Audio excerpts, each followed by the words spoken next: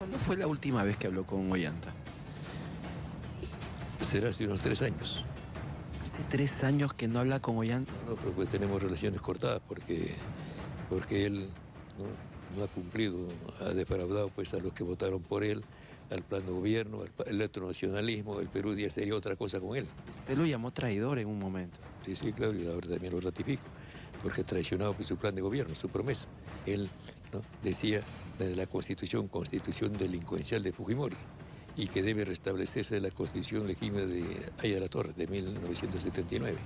Pero ahora está compartiendo el mismo lugar, eh, digamos, de prisión que Alberto Fujimori. Como Fujimorista, ¿no? Claro. Ha robado también como Fujimori. ¿Me parece? Bueno, pues es Fujimorista, pues, porque está, al otro le han probado, acá también pues, le, le van a probar posiblemente. ¿Usted cree que Ollanta es culpable? Bueno, yo Sea sincero. hasta hace una cosa es ser padre, pero también... Poco yo sostenía que, que sí, porque no había un, un cargo que, que de un solo. Ahora, esa cuestión de la, la campaña, ese no es dinero del Estado. Es dinero que le da Juan Pérez, o Brasil, o Corea, o Cuba, o, ¿cómo se llama? o Venezuela, o Chile. ¿no? ¿Pero ¿Cómo ingresó ese dinero? No, no, pero eh, si no hubiera recibido, ¿no? Eh, No, no sería presidente, pues.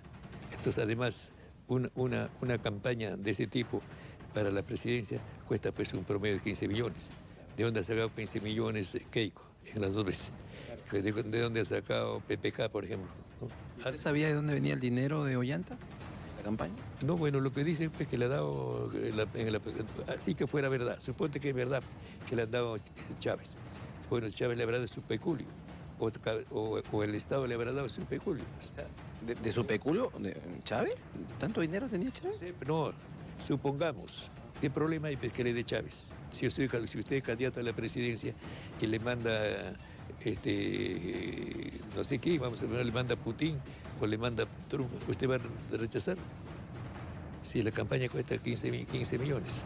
Es una hipocresía del Estado que va a hacer con pesetas. No hay con pesetas, ¿no es cierto? Entonces, pero eso no es delito. Porque no, porque no es dinero del Estado. ¿no? Ahora no interesa que sea ladrón, tendría que probar, tendría que tendría, o sea, al que me regala tendría que pedir que, que me presente con su certificado. ¿no? Ahora, eso que se investiga después.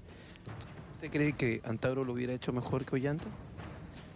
Bueno, eh, eh, bueno, por supuesto, porque lo estamos viendo, pues que el otro que, que ha traicionado. ¿no? El otro no, el otro está- en la cárcel. De todas maneras debe haberle afectado verlo entrar. Bueno, Naturalmente, pues claro, ya, pues, ya es, es lógico, pues. No, no solo ese es el único caso en el mundo ¿no? en que la pareja ¿usted siente que en un momento Nadine Heredia ha sido la culpable de que la relación familiar se haya desquebrajado y que Ollanta Humala haya traicionado al pensamiento etnocacerista?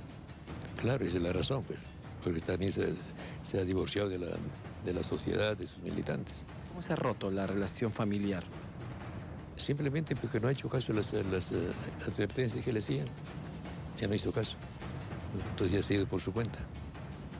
¿Siente que Nadine es la, la verdadera culpable de que el presidente Ollanta esté allí? No la puedo culpar porque el responsable es él. Yo recuerdo haberlo escuchado en campaña hace mucho tiempo, cuando usted, sí, hace mucho tiempo, cuando usted dijo que los traidores de la, eh, los traidores de la patria merecían la pena de muerte. Eh, lo, sigue, lo sigue pensando porque ahora usted llama traidor a su hijo. Eh, le recomendaba que se suicide. la Constitución está. No, yo no he recomendado, sino me presenta un periodista una carta que había escrito el que está preso, ¿no? resentido, ¿no? que decía que esta cosa debe suicidarse. Yo lo suscribo. Incluso yo ahora último he dicho, si a mí, si, si yo estuviera en el papel de él, posiblemente me metieron un tiro. ¿Ya no existe más el etnocacerismo o sí existe todavía? Lea usted el- la República del, creo que es 15, de un domingo de abril del 2015.